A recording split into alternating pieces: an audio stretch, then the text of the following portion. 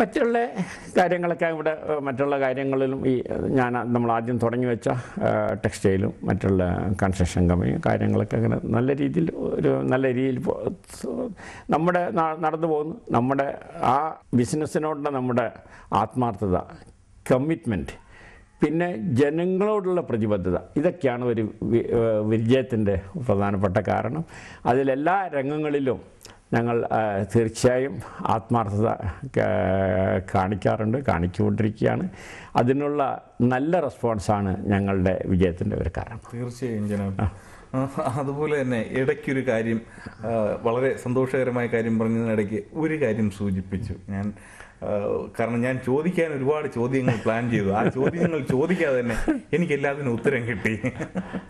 അപ്പോൾ ഇടയ്ക്കൊരു കാര്യം സൂചിപ്പിച്ചത് മലയാളികൾ അല്ലെങ്കിൽ ഇന്ത്യക്കാരെ കുറിച്ച് വളരെ പ്രതീക്ഷ ഇടയ്ക്ക് ഒന്ന് സൂചിപ്പിച്ചതിൽ കുറച്ച് പേർ ചിലതരികിടകൾ എന്നൊക്കെ സൂചിപ്പിക്കുകയാണ് ഉണ്ടായത്. അല്ല അത് ഏതും ഏത് കാര്യങ്ങളും അതിലിപ്പോൾ അതൊരു ഒരു പെർസെന്റേജ് നോക്കിയാൽ അതൊരു നമുക്ക് തീരെ അത് അവഗണിക്കേണ്ട ഒരു പെർസെന്റേജ് മാത്രം വിസ ഫോൾസ് വിസ കൊടുത്ത് ആൾക്കാരെ വരുത്തുക അങ്ങനെയുള്ള പറ്റും ഇങ്ങനെ അങ്ങനെയുള്ള ചെറിയ ചെറിയ ചില്ലറ കാര്യങ്ങൾ ചിലപ്പോൾ ആൾക്കാരുടെ നിന്ന് ഉണ്ടാവും. അത് ഇപ്പം നാമ നാട്ടിലാണെങ്കിലും മനുഷ്യന്മാരുടെ അടുത്ത് നിന്ന് ഇപ്പം അതെ അതെ അതുണ്ടല്ലോ അത് ഓഡ് ഓഡ് പേഴ്സണാലിറ്റീസ് അങ്ങനെ ഉണ്ടാവും. ആ ഒരു ചെറിയ ഇതല്ലാതെ. പൊതുവിൽ ഇന്ത്യക്കാരെ കുറച്ച് നല്ല മതിപ്പാണ് ഇവിടെയുള്ളത്. അത് അത് അത് നിലനിർത്തണം അതിൽ കൂടുതൽ നമുക്ക് പിന്നെ ഒരു സൽപ്പേരുണ്ടാവണം എന്നുള്ളതാണ് എന്റെ ആഗ്രഹം. ഇവിടുത്തെ ഭരണാധികാരികൾ വളരെയധികം ഇന്ത്യക്കാർക്ക് പ്രചോദനം നൽകി എന്ന് പറയുന്നതിൽ തീർച്ചയായിട്ടും നമുക്ക് സന്തോഷമുണ്ട്. അഭിമാനിക്കാം. ജനാബ് അതുപോലെ ഈ അടുത്ത കാലത്ത് ഈ ഫിനാൻഷ്യൽ ക്രൈസിസ് വന്നപ്പോഴേക്കും വളരെ വിഷമത്തോടു കൂടിയാണ് കേരളീയർ ആ, ഒരു വാർത്ത കേട്ടത്. കാരണം കേരളീയർ എന്നും ഒരു സ്വപ്നഭൂമിയായി കാണുന്നത് ഈ മണ്ണിനെയാണ്. അപ്പോൾ ആ ഒരു അവസ്ഥ മാറിയോ? വീണ്ടും ആ സ്വപ്നങ്ങൾക്ക് അർത്ഥമുണ്ടോ? ഏത് രാജ്യത്തിനെ സംബന്ധിച്ചിടത്തോളം അതിന്റെ അപ്സ് ആൻഡ് ഡൗൺസ് എന്നുള്ളത് ഉണ്ടാവും. ദുബായ് സംബന്ധിച്ചിടത്തോളം ഈ കഴിഞ്ഞ ഒരു ഒരു എൺപതുകളിൽ അങ്ങനെ ഒരു സംഭവം ഉണ്ടായിട്ടുണ്ട്. ഇപ്പം ഏകദേശം ഇറാഖ് ഇറാൻ വാർ.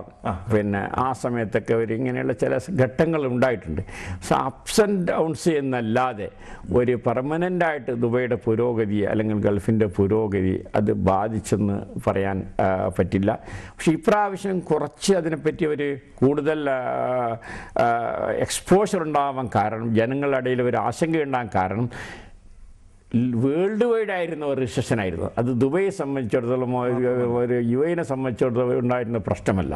അപ്പോൾ ആ തീർച്ചയായിട്ടും ഒരു വേൾഡ് വൈഡ് പിന്നെ ഒരു പ്രോസസ്സായിരുന്നു ഡിപ്രഷൻ ആയിരുന്നു അപ്പോൾ അത് തീർച്ചയായിട്ടും ഒരു വള അതിവേഗം വളർന്നുകൊണ്ടിരിക്കുന്ന ഒരു രാജ്യം ഒരു സിറ്റിയായ ദുബായ് ദുബൈനെ സംബന്ധിച്ചിടത്തോളം പറയാണ് ലോകത്തിലെ ഫോർട്ടി പെർസെന്റ് ഫിഫ്റ്റി പെർസെന്റ് വലിയ വലിയ ക്രെയിൻസ് ആൻഡ് ലിഫ്റ്റ്സ് ഈ ഈ ഭൂമിയിലായിരുന്നു ഈ അടുത്ത കാലം വരെ ഉണ്ടായിക്കുന്നത് അത്രയും വലിയ ഫാസ്റ്റ് ഡെവലപ്പിംഗ് സിറ്റിയായി ദുബൈ ആ, വാസ്തവത്തിൽ വളർന്നു കഴിഞ്ഞു എന്ന് തന്നെ പറയാം.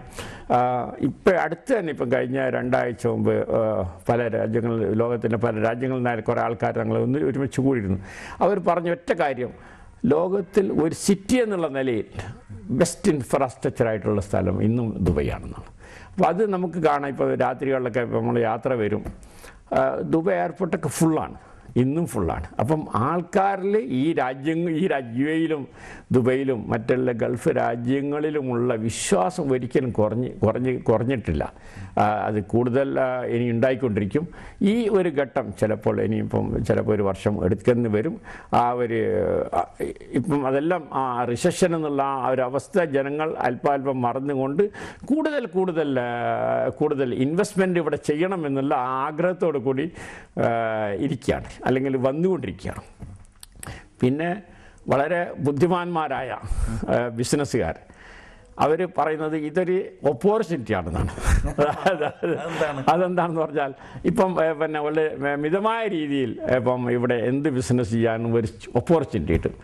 ഓഫീസ് സ്പേസ് ആണെങ്കിൽ പിന്നെ ഇന്നിപ്പം പിന്നെ കുറച്ച് റെന്റൊക്കെ കുറവാണ്. ഫ്ലാറ്റ്സിനൊക്കെ റെന്റ് അല്പം കുറഞ്ഞിരിക്കാൻ ഒരു മിതമായി വന്നിരിക്കുകയാണ്. ഭൂമിയാണെങ്കിൽ അതിനും വളരെ മിതമായ വിലയാണ്. അപ്പം ഈ സമയത്ത് ഇൻവെസ്റ്റ് ചെയ്യാൻ കൂടുതൽ കൂടുതൽ ലാഭകരമായിരിക്കും ഫ്യൂച്ചറിൽ എന്ന് വിചാരിച്ച് ധാരാളം ബിസിനസ്സുകാർ ആ പേരിലും അങ്ങനെയുള്ള ഒരു ഓപ്പർച്യൂണിറ്റി ആണിതെന്ന് കണ്ടുകൊണ്ടും ആൾക്കാർ ഇവിടെ വന്നുകൊണ്ടിരിക്കുകയാണ്. തീർച്ചയായും അത് പറഞ്ഞത് എനിക്ക് ഒരു സത്യം പറഞ്ഞു കഴിഞ്ഞാൽ ഈ അടുത്ത് വരുന്ന ഇന്റർവ്യൂ ആയിട്ട് തുടങ്ങിയെങ്കിലും ഞാനിപ്പോൾ ഒരു സ്റ്റുഡന്റ് ആയി മാറിയത് അനുഭവ സമ്പത്തുകളിൽ നിന്ന് ഓരോ കാര്യങ്ങൾ കേൾക്കുമ്പോൾ. അതുപോലെ നമ്മുടെ നാടും ഇവിടെയും ഒരുപോലെ ബിസിനസ് മേഖലയായാലും വ്യവസായമായിരുന്നാലും എല്ലാത്തിലും ഒന്ന് കമ്പയർ ചെയ്യാൻ പറ്റുമോ എങ്ങനെ? എങ്ങനെയാണ്? നമ്മുടെ ഇന്ത്യയും ഈ നാടിനെയും തമ്മിലുള്ള അവസ്ഥകൾ ഇപ്പോഴേ ഇപ്പം ഇന്ത്യനെ സംബന്ധിച്ച് നോക്കിയ പറയുകയാണെങ്കിൽ മുമ്പ് ഉണ്ടായിരുന്ന ഇന്ത്യ അല്ല ഇപ്പോഴും ഇപ്പം ഇന്ത്യയെ സംബന്ധിച്ച് ഇന്ത്യ വളരെ സമൃദ്ധിയുടെ ഒരു നാടായി മാറിയിരിക്കുകയാണ്. മാറിക്കൊണ്ടിരിക്കുകയാണ്. ഇന്ത്യയിൽ വളരെയധികം ഓപ്പർച്യൂണിറ്റീസ് ഉണ്ട്. അപ്പം അത് അത് ആ കാരണം കൊണ്ട് ഇപ്പം നമ്മുടെ ചില മാനുഫാക്ചറിങ് ഇപ്പം പൈപ്പ് മാനുഫാക്ചറിങ് ഞങ്ങൾ അവിടെ കേരളത്തിൽ പോകുന്നുണ്ട്. Chappal light weight chappal manufacture അതിലൊക്കെ ഞങ്ങളിപ്പം എൻഗേജ് ചെയ്തുകൊണ്ടിരിക്കും. കൂടാതെ ഈ ഇപ്പം മലബാർ ഇപ്പം ഞങ്ങൾ ബിൽഡേഴ്സ് വ്യാഗോട്ട് എന്നെ ഒരു ഡിവിഷൻ മലബാർ ബിൽഡേഴ്സ് എന്നുള്ള ഡിവിഷനുണ്ട് അത് വളരെ ഇപ്പം ഇന്നിപ്പം റിസഷൻ എന്നുള്ള പേരിൽ കുറേ ആൾക്കാർ പിന്തിരിഞ്ഞ് നടന്നപ്പോൾ ഞങ്ങളതിൽ വാസ്തവത്തിൽ സ്റ്റഡിയായി ഇപ്പം ഞങ്ങൾ മുമ്പോട്ട് പോയിക്കൊണ്ടിരിക്കുകയാണ്. ഒരു നാല് ബിൽഡിംഗ് ഞങ്ങൾ ഓൾറെഡി ഡെലിവറി ചെയ്ത് കഴിഞ്ഞു. മറ്റുള്ള ഇപ്പം കാലിക്കറ്റ് കണ്ണൂർ പെരിന്തൽമണ്ണ ഈ ഭാഗങ്ങളിലെല്ലാം ഞങ്ങൾ ഇപ്പോൾ ഞങ്ങളുടെ കൺസ്ട്രക്ഷൻ നടന്നുകൊണ്ടിരിക്കുകയാണ്. ഞങ്ങളെ സംബന്ധിച്ചിടത്തോളം നല്ല ക്വാളിറ്റി ക്വാളിറ്റി പ്രൊഡക്ട്സ് നിങ്ങൾ കൊടുക്കുകയാണെങ്കിൽ അതായത് നല്ല മനുഷ്യന്മാരെ വിശ്വസിക്കുക ഓക്കെ മലബാറിന്റെതാണ് അല്ലെങ്കിൽ വേറെ ഏതെങ്കിലും കമ്പനിയുടേതാണ് അത് അതുകൊണ്ട് പിന്നെ പിന്നെ ഞാൻ കൊടുത്ത പണത്തിന് അത് ആ കിട്ടുന്നത് സാറ്റിസ്ഫാക്ടറി ആണ് അല്ലെങ്കിൽ തൃപ്തികരമാണ് അല്ലെങ്കിൽ ഈ ഈ വാല്യൂ ഈ വർത്തിന് ഇപ്പം ഞാൻ എനിക്ക് വേറെ സമയത്തത് കൈമാറേണ്ടി വന്നാൽ ഞാൻ കൊടുത്ത പണത്തിലധികം എനിക്ക് കിട്ടും എന്നുള്ള ഒരു ആഗ്രഹം അല്ലെങ്കിൽ അതിന്റെ ഒരു ഒരു ഒരു ഒപ്റ്റിമിസം ഉണ്ടായിക്കഴിഞ്ഞാൽ തീർച്ചയായിട്ടും ആൾക്കാർ ഇൻവെസ്റ്റ് ചെയ്യും. അപ്പം അപ്പം നല്ല ഇപ്പം ഇന്ത്യനെ സംബന്ധിച്ച് നിങ്ങളെ ചോദ്യം ഇന്ത്യനെ സംബന്ധിച്ചോ ഇന്ത്യയിൽ തീർച്ചയായും വളർച്ചയുടെ കാലഘട്ടമാണ് അടുത്ത ഒരു പതിനഞ്ച് വർഷം. എന്റെ എന്റെ എന്റെ ഏകദേശം കാഴ്ചപ്പാടാണ് പതിനഞ്ച് വർഷത്തിനുള്ളിൽ ലോകത്തിലെ one of the economic super പവറായിട്ട് India മാറുകയാണ്.